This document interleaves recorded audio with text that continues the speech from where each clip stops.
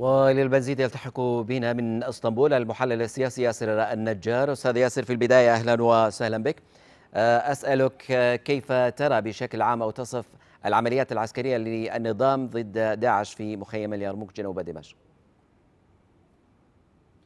حياكم الله حقيقة ما يحدث الآن في مناطق اليرموك مخيم اليرموك على وجه التحديد يعني مجازا بكل معنى الكلمة بتصوري أن روسيا وجدت أن سياسة الأرض المحروقة في مناطق تواجد داعش كأنها سنة سنتها الولايات المتحدة الأمريكية. نعلم أن السيناريو الرقة كان هو سيناريو أيضا أرض محروقة وبالتالي ما نلاحظه أن المدنيين الموجودين الآن في هذه المناطق هم من يتحملون هذه الأزمة حقيقة وبتصور على مرأى ومسمع من العالم. نحن نتكلم عن عدة آلاف من السوريين والفلسطينيين المدنيين الذين شاءت الظروف والأقدار أن يكونوا تحت سيطرة قوات وفصائل غير مرضي عنها جزء منها إرهابي. وبالتالي ليس الحل يكون بعملية إبادة هؤلاء المجتمع المدني بتصوري سياسة الأرض المحروقة. صرح عنها وزير الدفاع شويغو الروسي قال بأن المناطق يجب أن تستتب على محيط مدينة دمشق بشكل كامل تحت سيطرة النظام السوري. وبالتالي هم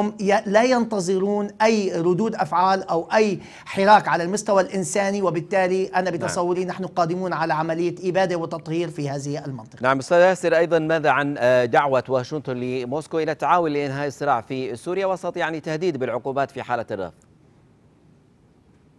يعني بتصوري بوتين استطاع أن يصل إلى إقناع المجتمع الدولي أن سياسة الحرب الباردة قد عادت من جديد. بوتين استطاع أن يرفع من سوية روسيا لتحل مكان الاتحاد السوفيتي سابقا وبالتالي حقق بوتين ما يريد أن يصبو إليه. هذا من جانب. من جانب آخر بتصوري الولايات المتحدة الأمريكية والمعسكر الغربي إجمالا يسعى الآن إلى حالة حصار السياسة الروسية واللجوء يعني بإيصال أو إيحاء رسائل واضحة بأن مجلس الأمن معطل بسبب الغطرسة الروسية واستخدامها لعملية الفيتو نحن نتكلم عن سبع سنوات لم تستطع مجلس لم يستطع مجلس الأمن عبر القرارات وعبر المؤشرات أن يكون له فاعلية على المستوى السوري سبع سنوات. على المستوى الإنساني والمستوى السياسي والعسكري لم يكن هناك فاعلية مجلس الأمن. بتصور الولايات المتحدة الأمريكية وأوروبا أعذرت روسيا في اجتماعات التي حصلت في السويد وستنتقل الآن إلى فكرة الجمعية العمومية للأمم المتحدة وسياسة مزيد من الحصار. نعم. لروسيا سياسيا. نعم الأمين العام للأمم المتحدة يؤكد على أن الحل السياسي في سوريا يعني يتطلب نجاح محادثات جنيف. من وجهة نظرك اليوم هل الحل العسكري اليوم أصبح مستبعد؟